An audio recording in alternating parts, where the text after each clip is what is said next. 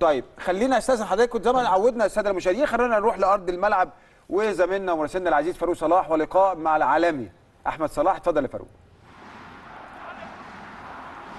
برحب بيك يا كابتن هيثم مليون مبروك ليك ومليون مبروك لضيوفك ال- الكرام كابتن أحمد زكريا والكابتن كريم جمعة وكل مشاهدي قناة النادي الأهلي في كل مكان.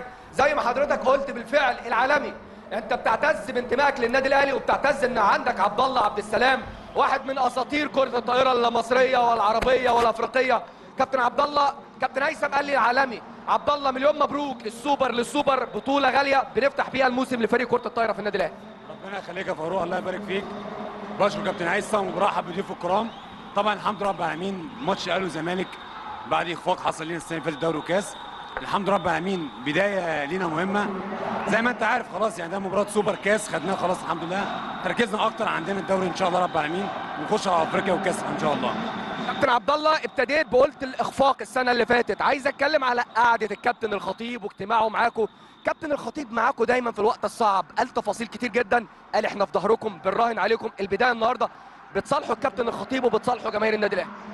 طبعا أنا كابتن خطيب يعني أنا وأحمد صلاح يعني أكتر اتنين في الفرقة يعني هو يعني قريب لينا إحنا الاثنين طبعا الفترة اللي فاتت دعم الفرقة بشكل قوي هو كابتن خالد العوضي.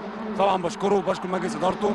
وبعدلهم يعني الفوز المبدئي أنت عارف يا فاروق إحنا بالنسبة لنا تارجتنا دوري وأربع بطولات مش بطولة واحدة بنكتفي. فطبعا بنوعدهم بنوع جماهيرنا. دي يعني مش مصالحة المصالحة إن شاء الله رب العالمين. لما ربنا يكرمنا إن شاء الله وناخد أربع بطولات بإذن الله. عبد الله جماهير النادي الأهلي دايما بترسم لوحة فنية جميلة لكن النهارده قالت يعني شفنا صورة ال- معالي الوزير رحمة الله عليه العمري فاروق رجل أخلص وعشق للكيان. أعتقد رسائل مهمة كتيرة جدا من جماهير النادي الأهلي النهارده.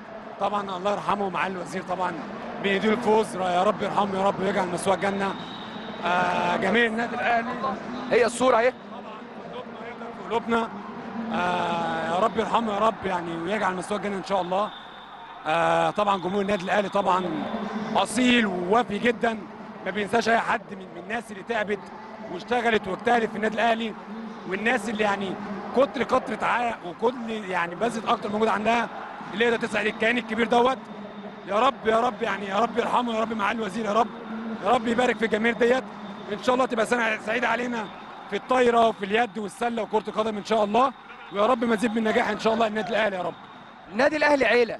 لما الاقي النهارده في المدرجات أو في المقصوره تتيانا احمد الجرحي بنشوف الكابتن عبد الله مع فريق ال basket مع فريق كرة القدم. الاهلي بيدي رساله مهمه جدا إحنا عيلة النادي الاهلي.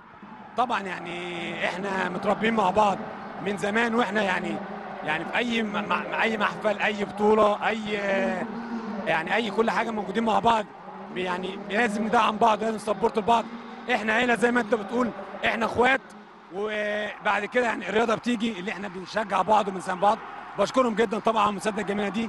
وإن شاء الله في اللي جاي أحسن يكون أحسن إن شاء الله. أشكرك يا عبد الله ومستنيين منكم كتير السنة دي. ربنا يخليك يا حبيبي. إن شاء الله أربع بطولات بإذن الله يا حبيبي. شكرا. كابتن هيثم ده كان لقائنا مع العالمي. عبد الله عبد السلام. رسالة مهمة جدا من جماهير النادي الأهلي. العمري فاروق رجل أخلص وعشق كيان ال- ال- النادي الأهلي.